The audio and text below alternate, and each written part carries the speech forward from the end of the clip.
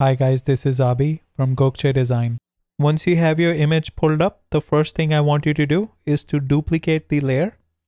Next, click on the image menu and select desaturate from the adjustments dropdown. This will get rid of all the colors from the image.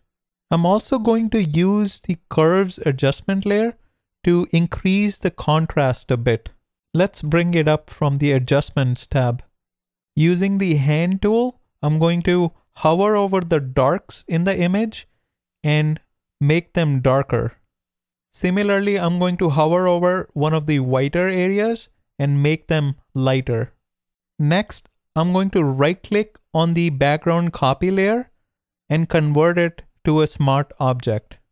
This will allow us to modify the image non-destructively. Also make sure your foreground color is set to black and the background color is set to white. Now click on filter and select filter gallery. From the right menu, select sketch and then click on halftone pattern. I'm going to zoom out in the preview window so I can look at the whole image. From the pattern type dropdown, you can select either circle, dot, or line. I like the dot pattern, so I'm going to go with that. Now you can play around with the size of the dot and the contrast. Play around with the sliders to your liking and then click OK. Next, we're going to add some gradient colors on top of our image. Select the background copy layer and then click on FX and select Gradient Overlay.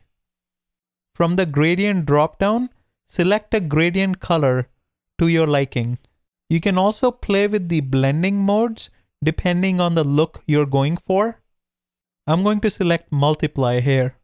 You can also change the angle, style, scale, and the opacity percentage. Click OK when you're done with your configuration. Finally, let's compare the before and after.